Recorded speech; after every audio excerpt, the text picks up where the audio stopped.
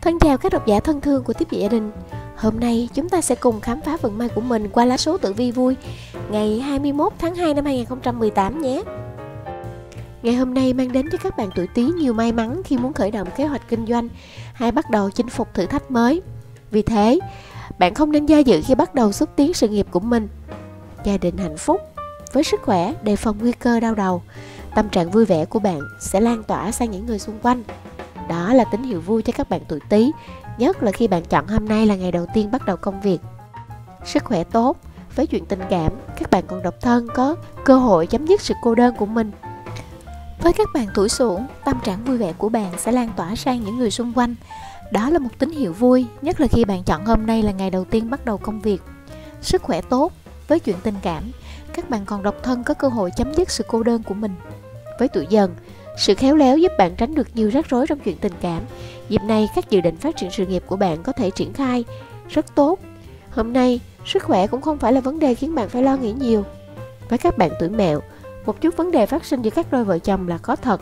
Điều đó có thể đến từ sự bất đồng trong cách chăm sóc, giáo dục con cái. Bạn nên kiềm chế để không khí lắng dịu trở lại. Công việc thuận lợi.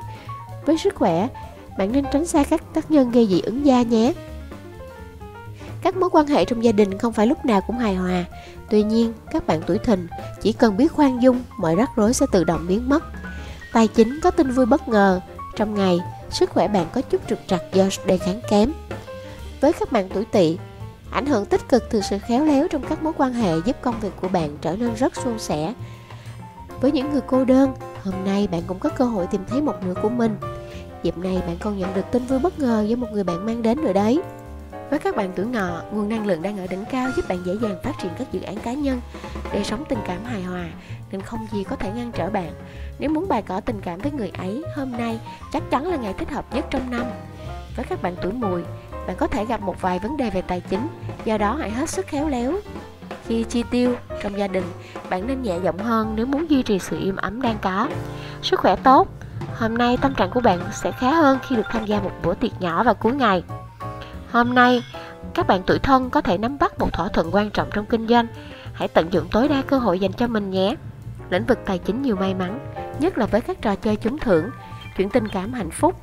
Với các bạn tuổi giàu, một chút phá cách trong lĩnh vực công việc sẽ giúp bạn tìm thấy hướng đi mới cho mình. Nhờ vậy sự nghiệp của bạn trong năm mới sẽ chuyển biến tích cực. Sức khỏe tốt, trong gia đình, bạn nên khoan dung với con cái hay những người nhỏ tuổi hơn mình. Với các bạn tuổi tuất, sức khỏe của bạn không tốt do tác dụng phụ của các thực phẩm nạp trong ngày. Bạn cần phải cẩn trọng hơn với chế độ dinh dưỡng để luôn cảm thấy vui vẻ, khỏe khoắn.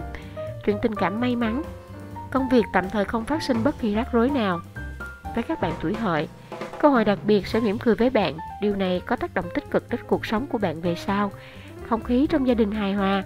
Dịp này bạn nên bắt đầu các dự án dài hạn hay khởi động kế hoạch học tập, nâng cao trình độ chuyên môn.